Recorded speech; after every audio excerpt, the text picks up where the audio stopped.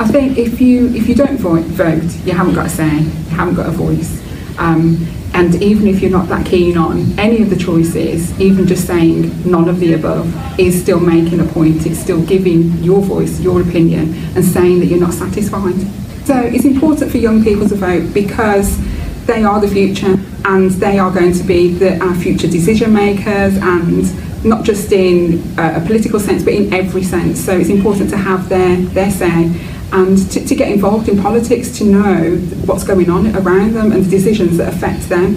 And they have a voice. Use that. And people have put their lives on the line to give you that voice. So use it. Okay. I, I personally vote um, because it is important to me.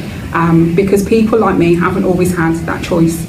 Um, haven't always had that, that right. And it is a right and it's something that if we don't use our vote if, um, then we might lose it. It's as simple as that